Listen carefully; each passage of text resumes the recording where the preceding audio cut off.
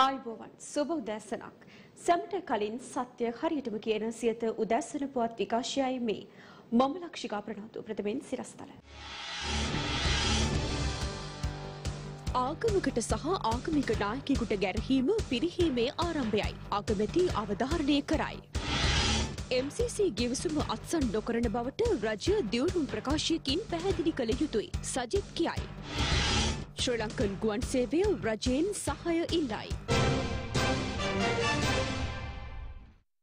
ප්‍රථමයෙන් දේශීය පුවත්. ඕනෑම පුද්ගලයෙක් ආගමික නායකයෙකුට අපහාස කරනවා නම් එය ඔහුගේ පිරිහීමේ ආරම්භය බව අග්‍රාමාත්‍ය මහින්ද රාජපක්ෂ මහතා පවසනවා. කුරුණෑගල වඳුරාගල ප්‍රදේශයේ පැවති ජන හමුවකට එක්වෙමින් අග්‍රාමාත්‍යවරයා මේ බව ප්‍රකාශ කළා. අද එක්සත් ජාතික පක්ෂය දෙකට ගැලිලා. පැත්තකින් ප්‍රේමදාස පිළ අනිත් දාසේ රනිල්ගේ පිළ ප්‍රේමදාසගේ පිළ අනිල්ට බනිනවා රනිල්ගේ පිළ ප්‍රේමදාසට. ඉතින් මේ දවස්වල ලේසර් ටෙස් එක බලාගෙන ඉන්නකොට අපිට පේනවා මේ අය දවස ගානේ පහතට හැලෙනවා ඇර තියෙන ඡන්ද ප්‍රමාණය අඩු කර ගන්නවා ඇර වැඩි කර ගන්න ප්‍රමාණයක් මට පේන්නේ නැහැ. ඒක മന്ത്രിවරේ එතුමා කියනවා මම මගේ පියා කතෝලික මගේ මව බෞද්ධ කියලා කතෝලික ආගමේ කාඩිනල්තුමාට ඉතාම අපහාස කරනවා. බෞද්ධ වේවා කතෝලික වේවා අත්ආගමික වේවා ආගමික නායකයෙකුට අපහාස කරොත් ඒ ඔහුගේ පිරිහීම නිසා ඔහුගේ විතරක් නෙවෙයි ඔහු එක්ක ඔහුගේ ඉන්න පක්ෂයටත් ඒ පිරිහීමට ඔහු ලක් වෙනවා කියන එක අපි අමතක යුතු නැහැ. මේ නොමේරු කම මම හිතන්නේ එක්සත් ජාතික පක්ෂය තුල පැහැදිලිව පෙනෙනවා කියන එක නම් අපිට පැහැදිලි ඕනම තැනක පක්ෂයක් දෙකට කැඩුනයින් පස්සේ තම දුර්වල. රජය MCC ගිවිසුම අත්සන් නොකරන බවට දියුණුම් ප්‍රකාශයක් මගින් ජනතාවට පැහැදිලි කළ යුතු බව සමගී ජනබලවේගේ නායක සජිත් ප්‍රේමදාස මහතා පවසනවා. ඒ කොළඹ පැවති මාධ්‍ය හමුවකදී. පසුගිය ජනාධිපතිවරණයේදී MCC ගිවිසුම සහමුලින්ම ඉරා දමන බවට වර්තමාන රජය පොරොන්දු වුණා. වන්දනීය පූජනීය මහා සංඝරත්නය MCC ගිවිසුමට විරුද්ධව මාරාන්තික උපවාස ක්‍රියාත්මක කරනකොට රජය නියෝජනය කරපු කණ්ඩායම් සියල්ලක්ම කිව්වේ රටට වින කරන රටට හානියක් වන MCC ගිවිසුම කොන්දේසි විරහිතව සම්පූර්ණයෙන්ම බැහැර කරනවා කියන කාරණා.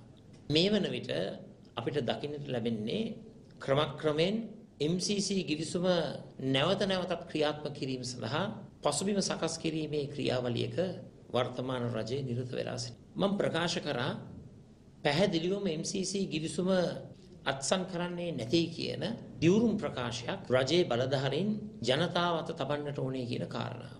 සමගි ජන බලවේගයේ නියෝජනය කරමින් මම ලෑස්ති සමගි ජන බලවේගයේ නායකයා හැටියට MCC ගිවිසුම සහ මුලින්ම බැහැර කරනවා කියන ප්‍රතිඥාව එම දියුරුම් ප්‍රකාශය මහ ජනතාව ඉදිරියේ තබන්න. මම අහන්න කැමතියි රජයේ ඒ දේ කරන්නට ලෑස්තිද? රජය ලෑස්තිද දියුරුම් ප්‍රකාශයක් තුලින් රටේ ජනතාවට MCC ගිවිසුම සහ මුලින්ම ප්‍රතික්ෂේප කරනවා කියන පිරිසිදු පණිවිඩය ලබා දෙන්නට. එක්සත් ජාතික පක්ෂයේ බහුතරයේ සිටින්නේ සමගී ජනබලවේගයේ සමග බව හිටපු පාර්ලිමේන්තු මන්ත්‍රී රංජිත් මද්දුම බණ්ඩාර මහතා පවසනවා. ඒ කොළඹ පැවති මාධ්‍ය හමුවකට එක්වෙමින්. එක්සත් ජාතික පක්ෂයේ නායකයාගේ ලිඛිත අනුමැතිය ඇතුව කෘත්‍යාධිකාරී මණ්ඩලයේ තීන්දුව මාධ්‍ය මගින් මහලේකම් එක්සත් ජාතික පක්ෂයේ ජනතාවට ප්‍රකාශ කරලා තියෙනවා. එසේ තිබියදී එක්සත් ජාතික පක්ෂයේ ආණ්ඩුවේ හිටපු බහුතරය පාර්ලිමේන්තුවේ හිටපු 80 දෙනෙක් සමගි ජන බලවේගයෙන් ඉල්ලද්දී එක්සත් ජාතික පක්ෂයේ සුළුතර කාණ්ඩායම ඉල්ලන්නේ 15 දෙනා. එක්සත් ජාතික පක්ෂයේ කෘත්‍යාධිකාරී මණ්ඩලයේ 37 දෙනෙක් ඉන්නේ සජිත් ප්‍රේමදාස මැතිතුමත් එක්ක. 20 ගාණක් ඉන්නේ අනිත් පැත්තේ. කෘත්‍යාධිකාරී මණ්ඩලයේ තීන්දුවක් කරන් තිබ්බා සමගි ජන බලවේගයෙන් ඉල්ලා 99 දෙනෙක් පක්ෂ තහනමකට ලක් කරන්න. ඒ සම්බන්ධව අපි අධිකරණයට ගියා. සම්බන්ධවත් තීන්දුවක් දීලා තියෙනවා වාරණ නියෝගය නිකුත් කරන එක නවත්තලා තියෙනවා. නමුත් අතුරු තහනම් නියෝගය සම්බන්ධව දිගටම නඩුව පවත්වාගෙන යන්න පාර්ශකරුවන්ට සිතාසි නිකුත් කරලා තියෙනවා. ඒ අනුව පාර්ශකරුවන් වන රනිල් වික්‍රමසිංහ මැතිතුමා රවි කරුණානායක මහත්මයා සහ එක්සත් ජාතික පක්ෂයේ මහලේකම් අකිල විරාජ් කාර්යවසම් මැතිතුමාට නොතීසි නිකුත් කරලා තියෙනවා අපේ වාර නියෝගයේ සම්බන්ධව උත්තර බඳින්න. එක්සත් ජාතික පක්ෂ සාමාජිකින් සහ පාක්ෂිකින් පක්ෂ ව්‍යවස්ථාවට අනුව කටයුතු කිරීම වැදගත් බව එක්සත් ජාතික පක්ෂ මහලේකම් හිටපු පාර්ලිමේන්තු මන්ත්‍රී අකිල විරාජ් කාර්යවසම් මහතා පවසනවා. ඒ සිරිකොත පක්ෂ මුලස්ථානයේ පැවති මාධ්‍ය හමුවකදී. එක්සත් ජාතික පක්ෂයේ සාමාජිකයන් 102 දෙනෙකුට විරුද්ධව එක්සත් ජාතික පක්ෂයේ කෘත්‍යාධිකාරී මණ්ඩලය විනය පියවර ගනු ලැබුවා. මේ 100 දෙනාගේ සමාජිකත්වයේ අත්හිටුවීමට තීන්දුවක් ගන්න ලැබුවා එක්සත් ජාතික පක්ෂය විසින්. එම තීරණය අභියෝගයට ලක් කරනු ලැබුවා එම පාර්ශවයන් විසින්. මෙම තීන්දුව පිළිගනිමින් ඉල්ලපු වාරණ නියෝගය ප්‍රතික්ෂේප කරලා තියෙනවා අධිකරණය විසින්. අපි එක්සත් ජාතික පක්ෂයේ විදිහට අපි හැම විටම උත්සාහ කරනු ලැබේ අපේ පාක්ෂිකයන් ඒ වගේම අපේ සමාජිකයන් විනය අනුව පක්ෂ ව්‍යවස්ථාව අනුව කටයුතු කරනවා දැකීම මම හිතන්නේ දැන් අවශ්‍ය වෙන්නේ නැහැ සිල්ගොත අල්ලන්න එන්න. මොකද සමාජිකත්වය නොමැති කෙනෙකුට එහෙම නැත්නම් ඊට පරිබාහිරව ඇවිල්ලා ඉතින් එහාට යමක් කිරීමේ නෛතිකභාවය මේ වෙනකොට නැති වෙලා තියෙනවා.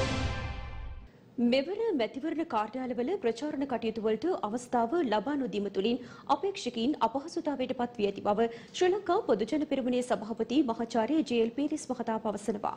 ඒ කොළඹ පැවති මාධ්‍ය හමුවකට සහභාගී වෙමින්. ගිය සතියේ ජාතික මැතිවරණ කොමිෂන් සභාව දේශපාලන පක්ෂ වල ලේකම්බරු හම්බුවෙච්ච අවස්ථාවේදී තීරණයක් ප්‍රකාශයට පත් කළා. මැතිවරණ කාර්යාලයේ පක්ෂයේ නම ලාංඡනය අපේක්ෂකයන්ගේ අංක ප්‍රදර්ශනය කරන්න බෑ කියලා. හැබැයි නීතියේ පැහැදිලි ව්‍යතිරේකයක් සඳහන් වෙලා තියෙනවා. ඒ ව්‍යතිරේකය තමයි රැලියක් පවත්වන ස්ථානයක. අර තහංචි බලපාන්නේ නැහැ. හැබැයි දැන් රැලිය කියන්නේ 100කට වඩා බෑ. සෞඛ්‍ය නිර්දේශ අනුව. අලුත් තීරණය නිසා අනවශ්‍ය ව්‍යාකූලතාවයක් ඇති වෙලා තිබෙනවා. ඉතින් මේ සම්බන්ධයෙන් අවස අවාසනාව තමයි මැතිවරණ කොමිෂන් සභාව තුළ එක මතයක් නැහැ එකඟත්වයක් නැහැ. ඉතින් මේ විදිහට එකම කොමිෂන් සභාව මත කිහිපයක් ඉදිරිපත් කිරීම. මේ සියලුම අර්බුදවලට තුඩු දෙන සාධකය හැටියට හඳුනා ගන්න පුළුවන්. එහෙම නෙවෙයි වෙන්න ඕනේ. මැතිවරණ කොමිෂන් සභාව තුල අභ්‍යන්තර සාකච්ඡාවක් පවත්වලා එක නිගමනයකට ඇවිල්ලා ඒ සම්මුතිය අනුව තමයි තීරණ ගත යුත්තේ. මහජනතාවට අයත් ධනය දූෂිතීන් අතලොස්සක් අතර සංසරණය වන බව ජනතා විමුක්ති පෙරමුණු නායක හිටපු පාර්ලිමේන්තු මන්ත්‍රී අනුර කුමාර දිසානායක මහතා පවසනවා. ඒ කොළඹ පැවති මාධ්‍ය හමුවකදී. දේශපාලන පරිගැනීම් පිළිබඳ පරීක්ෂා කර තොරතුරු ලබා ගැනීම සඳහා වන ජනාධිපති පරීක්ෂණ කොමිසම් සභාවට මාව කැඳවා තිබෙනවා. හෙට උදේ 11:30ට එම කැඳවීමේ සිතාසිය අපගේ පක්ෂ කාර්යාලයට ලැබී තිබෙනවා. ඒ පිළිබඳව මා දැනුවත් වී තිබෙනවා. ඒ අනුව හෙට දිනේ 11:30ට එම කොමිසම් සභාව හමුවේ පෙනී සිටින්න මා සූදානම්. අපේ රටේ මහජනයාගේ ධනය දේශපාලකින් කණ්ඩායම ඔවුන්ගේ රැකවරණේ පෝෂණය වෙන ව්‍යාපාරික කණ්ඩායම රාජ්‍ය සේවයේ අතලොස්සක් වන කුඩා කණ්ඩායමක් අපේ රටේ මහජනයාගේ දේපල විනාශ කරන්න හොරකම් කරන්න කටයුතු කරලා තිබෙනවා. එතකොට මේ ධනයට මොකද්ද වුනේ? අපි සතු විශාල තොරතුරු ප්‍රමාණයක් තිබෙනවා. මේ ධනය වතුරේ ගසාගෙන ගොස් නොවේ තිබෙන්නේ.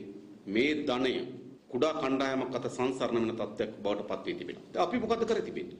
අපි මේ කොට්ටාසයන් සඳහා අපි පැමිණිලි ඉදිරිපත් කොට තිබෙනවා. ඒ කුමක් වෙනුවෙන්ද? මෙම මහජනයාගෙන් වංචා කරලද දීපල යලි මහජනයා වෙත ලබා ගැනීමේ අරමුණයි. දැන් සිදුවී තිබෙන දේ තමයි අපට ජනාධිපති විමර්ශන කොමිසම සභාවකට එන්න කියා තිබෙනවා. මෙම වංචා දූෂණය නාස්‍යයට එරෙහි අනවර්ත අරගලීම කොටසක් සන්ධිස්ථානයක් බවට එම වංචා එම ජනාධිපති කොමිසම් සභාව පත් කරගන්න අපි සූදානම්. ශ්‍රී ලංකන් ගුවන් සේවයේ අවශ්‍යතා සපුරා ගැනීම සඳහා රජයේ සහාය අවශ්‍ය බව ශ්‍රී ලංකන් ගුවන් සේවයේ සභාපති අශෝක් පතිරගේ මහතා පවසනවා. ඒ කොළඹ පැවති මාධ්‍ය හමුවකට එක්වෙමින්.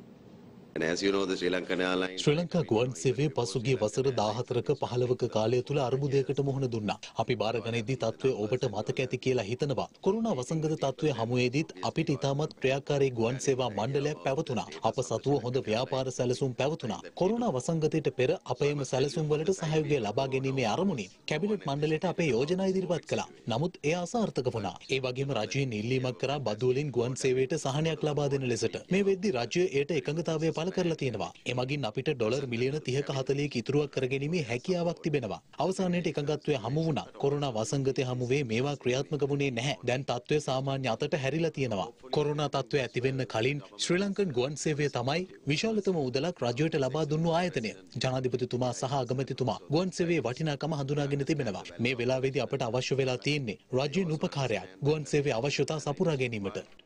to achieve many many things for the government. This moment, obviously, that we need certain help, but we are also looking at how we can self-fund. උදැසන පුවත් විකාශය අවසන්. තවත් උණුසුම් පුවත් දැනගැනීමට පිවිසෙන්න ලංකාවේ අංක එකේ සිංහල වෙබ් අඩවිය www.siethanews.lk අපගේ වෙබ් අඩවියට. යළිත් හමුවෙමු මධ්‍යහන පුවත් විකාශයත් සමගින්. ඔබට සුබ දවසක්.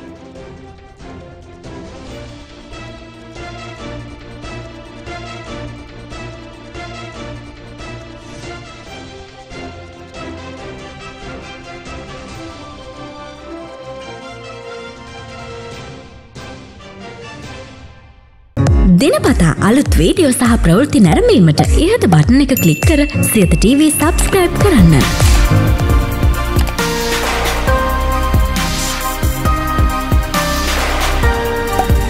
අලුත් වීඩියෝ ගැන මුලින්ම දැනගන්න මෙම සීනුව ක්ලික් කරන්න.